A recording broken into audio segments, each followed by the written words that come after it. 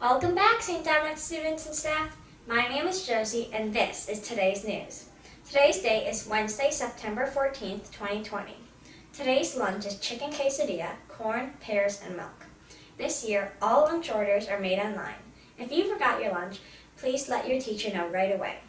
This Thursday, we will pray the Living Rosary. If you have a special rosary at home, please bring it on Thursday. Happy birthday goes Happy birthday wishes go out to fifth grader Liam Ricard.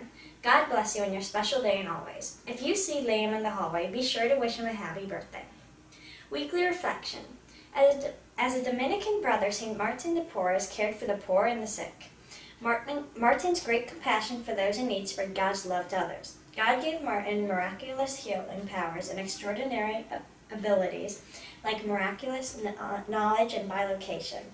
It is reported that on more than one occasion Martin passed through locked doors to take care of the sick.